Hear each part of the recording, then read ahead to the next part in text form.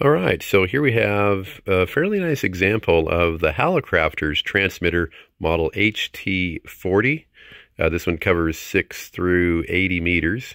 And just going to kind of move on in here and give you a, a look at this thing. There's the uh, plate loading and plate tuning control knobs. These are in very nice physical condition. A lot of times the uh, knobs can be a little chipped up. There's uh, the meter over there. Uh, and there's your switch for uh, grid current and RF output. Uh, and it has a crystal socket up front here, which I have a crystal plugged in there for 40 meters currently.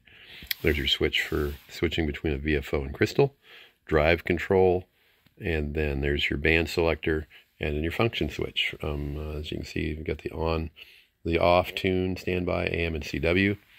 And so I've had in the CW uh, position uh, this thing's been sitting a while, and I brought it up slowly. And when I first tried it, I was, I was hearing a, a, noise, but I didn't get any uh, output. But now I'm getting output, so I don't know if it's just a matter of the uh, contacts being, you know, dirty or, or what. But um, I didn't even, haven't even taken out of the case yet, but um, looks good. Anyway, here's the uh, meter I wanted to show you. It is putting out. So there we go. Um, uh, hitting the key here. And, uh, oh, the meter's working too meter was a little sticky at first too. it is working. Uh, so as you can see, it's putting out right near 50 watts. maybe maybe closer to 40. But anyway. so you can see it's working. Um, but, you know, it probably could use a good uh, cleanup. The uh, face looks great, I got to say.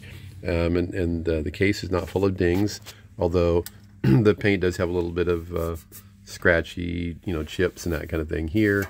Um, I don't know if that's a ding or not. I guess not.